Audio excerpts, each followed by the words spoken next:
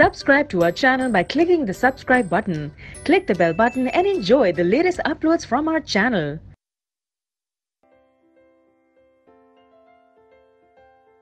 Question 5 List any three human activities that you think would lead to air pollution.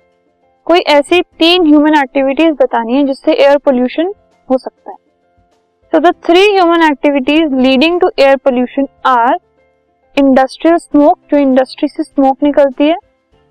Burning of fossil fuels like coal and petroleum, अगर इन fossil fuels को burn किया जाए सो so इससे जो जो gases निकलती हैं, वो भी हार्मफुल होती हैं, उससे भी एयर पॉल्यूट होती है। एंड डिफॉरेस्टेशन, अगर ट्रीज को हम कट करेंगे ऑन अ लार्ज स्केल तो उसकी वजह से भी जो एयर है, वो पॉल्यूट हो जाता है।